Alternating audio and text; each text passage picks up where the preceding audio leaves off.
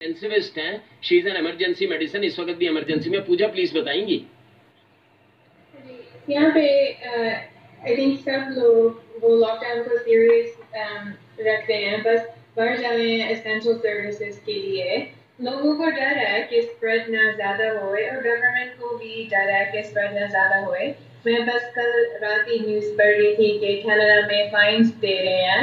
अगर लोग बिहेव नहीं कर रहे या लॉकडाउन को या ये क्वारंटीन के को मिस ट्रीट कर रहे हैं और फिर हॉस्पिटल में एवरी डे कुछ बदलता है न्यू न्यूज़ आती है ईमेल्स आती हैं हम हम सबको अपडेट करने को क्या क्या चेंज कर रहे हैं कि क्या पॉलिसी चेंज कर रहे हैं कैसे प्रोटोकॉल्स होंगे जब कोविड पेशेंट्स आते हैं हमारी इमरजेंसी रूम में या आईसीयू में कैसे हम डॉक्टर्स अपने आप को प्रोटेक्ट कर सकते हैं एंड पेशेंट्स को बेस्ट केयर दे सकते हैं एंड आई थिंक जब सब मिल के काम कर रहे हैं दैट्स व्हेन सब बेस्ट आउटकम्स होंगे इंडिया में डॉक्टर पूजा चोपड़ा कई रेट्रोवायरल ड्रग्स का इस्तेमाल जिसके बारे में स्वास्थ्य मंत्रालय ने भी कहा था, वो किया जा रहा है। अमेरिका का हमने दिखाया कि प्लाज्मा थेरेपी वो कर रहे हैं। आप यहाँ पर क्या, जो ट्रीटमेंट सपोर्टिव ट्रीटमेंट ही सही, क्योंकि आप कोरोना पेशेंट से भी डील कर रही हैं। सपोर्टिव ट्रीटमेंट ही सही क्या दिया जा रहा है? क्या ऐसी कुछ दवाइयाँ हैं लाइन ऑफ़ ट्रीटमेंट है जिसके बारे में आप बताएँगे? अभी कोई दवाई नहीं यहाँ पे दे रहे हैं। ट्रायल कर रहे हैं। कई प्रोविंसेस में कनाडा में कि प्लाज्मा थेरेपी अगर काम करें um, लेकिन अभी कोई दवाई कोई असर नहीं हो रही या हमें देखा नहीं कि कोई उसकी बेनिफिट हो रही है। तो यहाँ पे सब सपोर्टिव ट्रीटमेंट्स जो हो रही है वो ऑक्सीजन है या हम अब देखते हैं कि जो नॉन इन्वेसिव वेंटिलेशन है जो अब उनको वेंटिलेटर पे नहीं लगाना लेकिन एक स्टेप वेंटिलेटर के, के नीचे वो काम कर रहा है थोड़ा सा जो लोगों को ऑक्सीजन ठीक से मिल नहीं रहा है।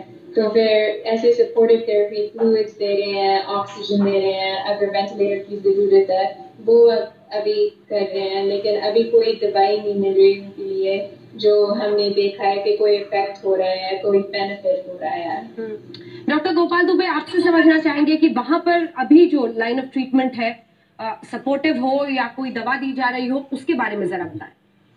आ, हमारे अनुभव से अभी जो भी है सपोर्टिव ट्रीटमेंट है अंजना जी ठीक है? और एक आपने बहुत अच्छा सवाल उठाया वो ये कि प्लाज्मा ट्रीटमेंट का। तो प्लाज्मा ट्रीटमेंट के बारे में मैं बता दूँ आपको थोड़ा सा अगर आप समय दें अगर आप अन्यथा दें तो मैं थोड़ा सा डिटेल में बता दूँ कि दर्शकों को पता चले कि क्या होता है। होता यह कि जब आप दर, एक कोई भी मरीज़ जब रिकवर हो जाता है उस किसी डिज़ीज़ से तो उसका ब्लड सैंपल लेकर उससे प्लाज्मा निकाल करके उससे एंटीबॉडीज लेते हैं जो उस बीमारी के खिलाफ लड़ती है उसको अन्य बीमार मरीजियों के शरीर में डालते हैं। तो उसके जो परिणाम आते हैं अगर आप इतिहास देखें तो आई थिंक 1918 में स्पेनिश फ्लू करके आया था पेंडेमिक पहले वहाँ से इस्तेमाल हुआ। इसके बाद वो आप समझ रहे H one N one influenza आया एपिडेमिक्स वो फिर सार्स कोव वाला आया। ठीक है 2003 में फिर एच वन इन्फ्लुएंजा 2009 2010 इन सब में प्लाज्मा थेरेपी का इस्तेमाल किया गया है।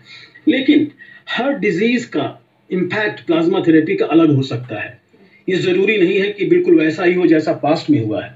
तो ये जो प्लाज्मा थेरेपी दी जा रही है इसके डेटा कुछ आए हैं चाइना से इनिशियली ठीक है? उससे चाइना से आया है कि कम से कम एक पायलट स्टडी है और कोई थोड़ी सी स्मॉल ऑब्जर्वेशनल स्टडी है जिसमें 10 15 20 मरीजों की जिसमें मरीजों की संख्या बहुत ज़्यादा नहीं है। जब ये प्लाज्मा एंटीबॉडी दी गई तो उनके सिम्टम में उनके चेस्ट पेन में खांसी में और तमाम तरह की चीज़ों में बहुत काफ़ी कुछ आराम मिला। लेकिन ये बिल्कुल से कह देना कि प्लाज्मा थेरेपी की वजह से मरीज़ इंप्रूव कर गया। अभी ये इतने ज़्यादा अच्छे एविडेंसेस हमारे पास नहीं है। हालाँकि अमेरिका ने यूके ने संज्ञान लिया है इस बात का और ट्रायल्स क्लिनिकल ट्रायल्स अंडरवे हैं। ठीक है? हम्म। और बहुत अर्ली स्टेज पे बिल्कुल कह देना कि प्लाज्मा थेरेपी क्योंकि इसके दूरगामी परिणाम भी हो सकते हैं। आपने मरीज़ को तो ठीक कर दिया लेकिन ठीक होने के बाद मरीज़ के किस अंग पर दिमाग पे आँख पे किडनी पे लीवर में कहाँ पे क्या फ़र्क पड़ रहा है ये कोई नहीं बता सकता। तो आई थिंक जब तक कोई भी अच्छा क्लिनिकल ट्रायल और एविडेंस ना आए इसको बहुत ड्रास्टिकली यूज़ करना मेरे विचार से तो उचित नहीं है। बट यहाँ संज्ञान लेना चाहिए सभी को। हम्म। ये उचित बात है। हम्म। तो रही बात की आप बहुत चीज़ें आई क्लोरोक्विन के बारे में ठीक है? और कुछ और ब्लड प्रेशर के ट्रीटमेंट के दवाइयों के बारे में आई है। तो आई थिंक मैं सबसे बड़ी अपने देशवासियों से अनुरोध करूँगा कि हम तमाम तरह की चीज़ों पे मत जाए। सरकार और जो चिकित्सक अपनी कंट्री के हैं उनके पास इतना ज्ञान है कि बाहर हुए एक्सपेरिमेंट से संज्ञान लें और वो बेस्ट करें जो अपनी कंट्री के लिए है जो जिसके रिसोर्सेज उनके पास है।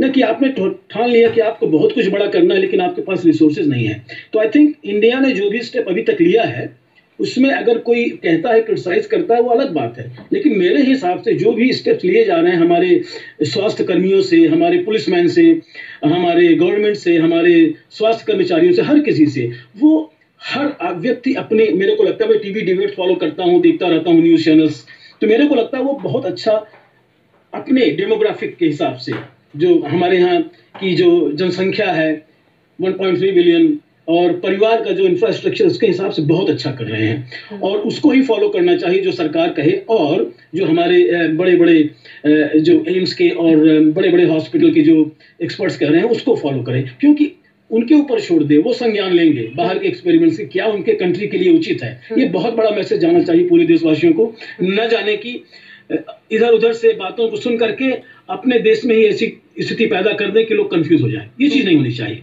बिल्कुल। और सरकार की तरफ़ से जो भी गाइडलाइंस ऐसे वक्त पर क्योंकि संकट है ये संकट की घड़ी है सबको समझना पड़ेगा लॉकडाउन के नियमों का पालन करना पड़ेगा। इससे पहले कि मैं डॉक्टर रवि मलिक और डॉक्टर संजय आपके पास आऊँ एक सवाल और डॉक्टर गोपाल दुबे मेरे मन में आता है। जो बार बार अलग अलग हलकों से जानकारी इस मुद्दे पर भी थोड़ा कंफ्यूजन के साथ आती है।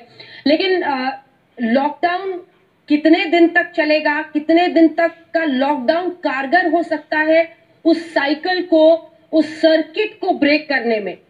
इस पर क्या कुछ प्रमाणित रूप से कहा जा सकता है? क्योंकि वुहान में जानकारी आई, वुहान में लगभग दो महीने का लॉकडाउन चला। भारत में भी कई राज्यों में अब कहा जा रहा है कि तीस तक तो इक्कीस दिन का लॉकडाउन पूरा हो चुका है, लेकिन सभी इसको लगभग पंद्रह दिन के लिए एक्सटेंड करने की बात कर रहे हैं। दो महीने वुहान में कंप्लीट लॉकडाउन रखा गया था, उसको आइलैंड बना दिया गया था लगभग। कितने वीक्स महत्वपूर्ण हो सकते हैं उस साइकिल को ब्रेक करने में। क्या इस पर कोई प्रमाणित डेटा है डॉक्टर गोपाल दुबे? देखिए अंजना जी, अभी तक कोई प्रमाणित डेटा इस पे नहीं है। जो कुछ भी है स्पेकुलेशन है। वो स्पेकुलेशन इस आधार पे है कि जिसने हमने बहुत से पैंडमिक सारी कंट्रीज़ ने सारी दुनिया की कंट्रीज़ ने लड़े हैं पास्ट में उसके आधार पे हम कह रहे हैं कि ऐसा करना चाहिए इतना कहना चाहिए उतना करना चाहिए और ऐसे करना चाहिए वैसे करना चाहिए। अगर आप देखें चाइना में दो दो महीने का कंप्लीट लॉकडाउन हुआ तो आप इस बीमारी के अगर इंक्यूबेशन पीरियड को देखें मतलब वायरस जब आपके शरीर में जाता है और जब सिम्टम्स आते हैं वो एक से लेकर के अट्ठाईस सत्ताईस दिन तक का है। ठीक है? ये ये मैक्सिमम मैं मिनिमम मैं मैक्सिमम की बात कर रहा हूँ। वो कम भी हो सकता है पाँच दिन का भी हो सकता है छः दिन का हो सकता है सात दिन का हो सकता है।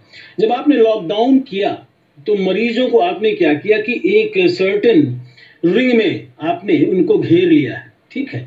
ठीक है परिवारों में इन्फेक्शन बढ़ेंगे तो आप क्या कर रहे हैं कि संक्रमण की की की जो डिस्ट्रक्टिव पावर है इसको कम कर रहे हैं। ठीक है?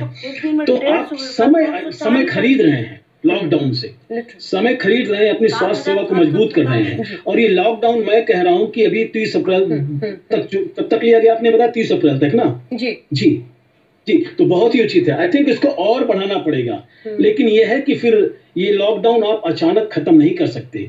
इसको बहुत ग्रेजुअली आपको खत्म करना पड़ेगा। बिल्कुल। जी क्योंकि अगर ये, ये, ये आप समझ लें कि बाँध का पानी है कि बाँध का पानी आपने रोक करके रखा है ए, ए, और अचानक आपने छोड़ दिया। बिल्कुल अचानक नहीं हो सकता और सरकार इस पर स्ट्रैटेजी बना भी रही है कि कैसे फ़ेज़ वाइज इस लॉकडाउन को इसका जो एग्जिट प्लान है वो बाकायदा अभी से बनाया जा रहा है ये भी अपने दर्शकों को बता दें। अब हमारे साथ सीधे डॉक्टर अंजलि कक्कड़ जुड़ गई है यूएसए से और डॉक्टर कक्कड़ आप थोड़ा सा लेट जुड़ी है लेकिन हम तमाम मुद्दों पर बात कर रहे थे जिसमें हमने दिखाया ऑक्सफोर्ड यूनिवर्सिटी की तरफ़ से।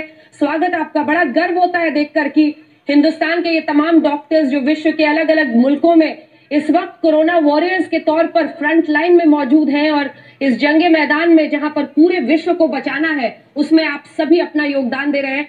डॉक्टर अंजलि कक्कर मेरा पहला सवाल आपसे यही, भारत को लॉकडाउन और जो सख्ती बरती गई ऑक्सफोर्ड यूनिवर्सिटी के कॉलेज ने, उस पैमाने पर सौ अंक दिए हैं। जब हम अन्य मुल्कों में, जहाँ पे अमेरिका से लेकर यूरोप किसी एक मुल्क की बात यहाँ पर नहीं है सिर्फ़ सीखने और आगे बढ़ने की बात है।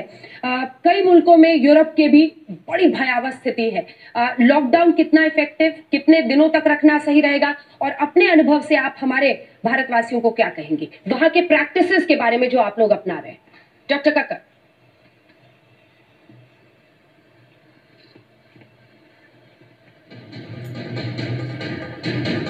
डॉक्टर कक्कर भी देखिए हमारे साथ अस्पताल से जुड़ रही हैं और अ, किसी वजह से उनकी आवाज़ थोड़ा सा कट गई है। एक बार फिर से। ठीक है डॉक्टर कक्कर हमें संकेत मिल गए। आपको शायद आवाज़ नहीं पहुँच रही है। हम फिर से जल्दी से कनेक्ट कर रहे हैं क्योंकि आप थोड़ा लेट से हमारे साथ कनेक्ट हुई हैं। लेकिन आपसे कई सारी बातें डॉक्टर रवि मलिक भी जानना चाह रहे थे। जैसे ही फ़ोन आता है उनका फ़ौरन मुझे बताइएगा। बिल्कुल हम आपको कनेक्ट कर रहे हैं मैम तुरंत कनेक्ट कर रहे हैं। डॉक्टर रवि मलिक सबकी बात हमने सुन ली है, आप भी एक सवाल उनसे पूछना चाह रहे थे। लेकिन जो अभी तक मेजर्स लिए जा रहे हैं एग्जिट प्लान हो या फिर लॉकडाउन के अंदर हॉटस्पॉट्स को सील करने का हो, बड़े इफ़ेक्टिव तरीके से देश आगे बढ़ रहा है। डॉक्टर कक्कड़ हमारे साथ आ गई है डॉक्टर मलिक बाफी के साथ, क्योंकि वक्त जरा कम है। डॉक्टर कक्कड़ अमेरिका में जो स्ट्रेटजीज अपनाई जा रही है और भारत में लॉकडाउन का इफेक्टिवनेस इन सब पर आप क्या कहेंगे? और जो line of treatment plasma therapy पर भी हम आपसे जानना चाह रहे थे। डॉक्टर कक्कड़। हाँ जी हाँ बिल्कुल। नहीं मेरे को ये अ, मैं बिल्कुल सहमत हूँ। मुझे लग रहा है कि ये जो लॉकडाउन की स्ट्रैटेजीज है ये बिल्कुल सही है। अ, हमें ये समझना चाहिए कि हमेशा प्रिवेंशन क्योर से बहुत ज़्यादा ठीक होता है क्योंकि ये वायरस ना कि हमने देखा कि एक बिल्कुल एक नॉवल वायरस वायरस है और एंटी एंटीवायरल्स जैसे कि ये रेमडेसिविर है इसकी बहुत शॉर्टेज है। इनफैक्ट हमारी हॉस्पिटल में भी शॉर्टेज है नहीं मिल रही अभी तक। और ट्रीटमेंट्स जैसे ये प्लाज्मा एंटीबॉडीज है इनको बहुत गहराई से स्टडी किया जा रहा है एंड पेशेंट्स को दी भी जा रही है जो कॉन्वेलेसेंट कैरियर्स हैं उनका प्लाज्मा दे जा रहा है और अ, हमने एक दो केसेस देखे भी हैं जो वो इफ़ेक्टिव हो रही है तो इसको स्टडी करना बहुत ज़रूरी है और इस्तेमाल बहुत जल्दी करना ज़रूरी है और इंटरल्यूकिन सिक्स ब्लॉकर्स भी यूज़ किए जा रहे हैं पर सबसे ज़रूरी बात है कि ये जो हाई रिस्क पॉपुलेशन है इंटुबेटेड पेशेंट्स हैं या जिनकी हेल्थ डिक्लाइनिंग है इनकी टाइमिंग का इस्तेमाल करना बहुत ज़रूरी समझना है। और बट लॉकडाउन ज़रूरी है बिकॉज़ जैसे मैंने कि बोला prevention is better than cure बिल्कुल। और आपने प्लाज्मा थेरेपी जी। आपने प्लाज्मा थेरेपी